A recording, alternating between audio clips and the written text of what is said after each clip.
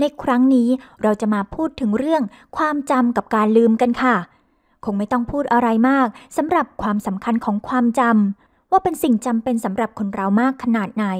และถ้าเราเข้าใจเกี่ยวกับระบบความจำมากขึ้น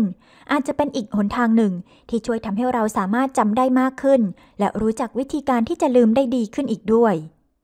ว่าให้ง่ายแล้วอย่างที่เคยพูดไปค่ะว่า ถ้าอยากจำอะไรได้ดี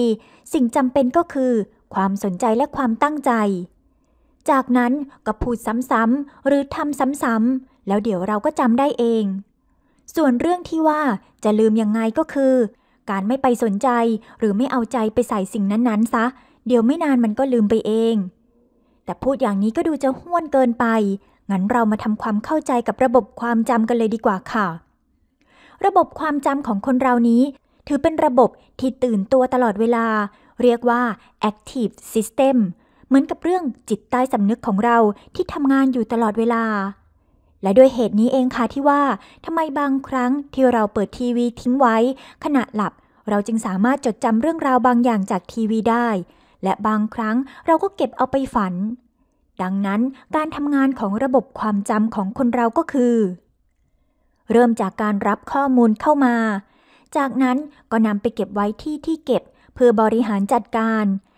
แล้วจากนั้นก็อาจจะมีการเปลี่ยนแปลง แล้วก็นำข้อมูลที่เก็บไว้ออกมาใช้ได้อีกครั้งหนึ่ง ซึ่งถ้าว่ากันตามที่นักจิตวิทยาจำแนกแจกจ่ายแล้ว ระบบความจำของคนเราจะมีด้วยกัน 3 ระบบก็คือ 1. ค่ะ ความจำจากการรับสัมผัส หรือความจำที่เกิดจากประสาทสัมผัส เช่นการมองเห็นหรือการได้ยิน โดยความจำจากการมองเห็นของคนเราจะมีสิ่งที่เรียกว่า ภาพติดตา คือภาพที่เรามองอะไรบางอย่าง จากนั้นหลับตาลง แต่เราก็ยังสามารถมองเห็นภาพนั้นในขณะหลับตาลงค้างอยู่สักครู่ก่อนที่มันจะจางหายไป ลองดูเลยก็ได้ค่ะ ลองจ้องมองอะไรบางอย่างสักครู่หนึ่ง จากนั้นหลับตาลง เราจะเห็นรูปร่างสิ่งที่เรามองเห็นค้างอยู่ การได้ยินก็เช่นเดียวกันค่ะ มันจะมีสิ่งที่เรียกว่า เสียงก้องในหูเหมือนอย่างที่ใครที่กำลังฟังเสียงนี้อย่างตั้งใจ เสียงนี้ก็จะก้องอยู่ในหู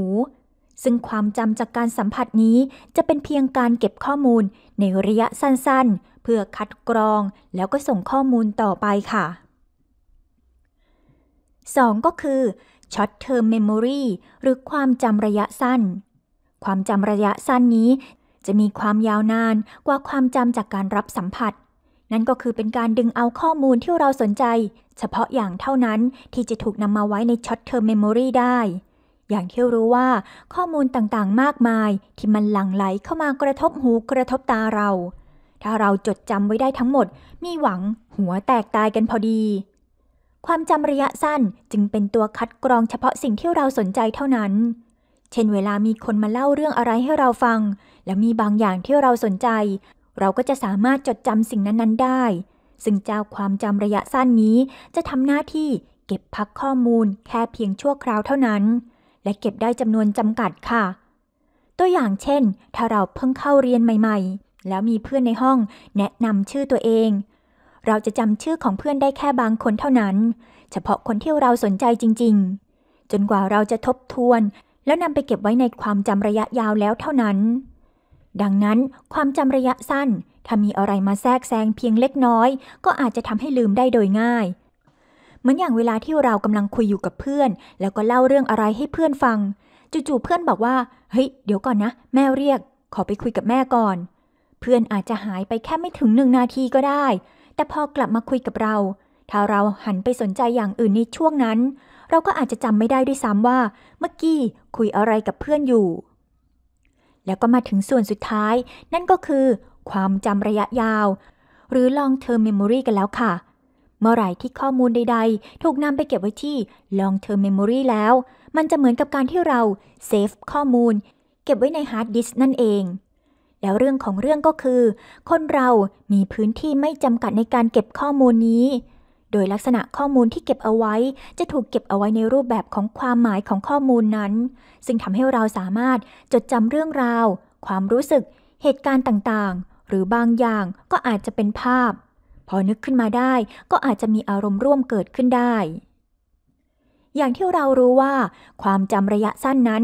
มันหายไปได้ง่าย ๆ ถ้าเราต้องการจะจดจำให้ได้นานขึ้น วิธีการหนึ่งก็คือ การนำข้อมูลใหม่ที่ได้นั้น ไปผนวก หรือเปรียบเทียบ หรือทำอย่างไรก็ได้ ให้มันเกี่ยวข้องสัมพันธ์กับข้อมูลที่เรามี เก็บเอาไว้ในความจำระยะยาวแล้ว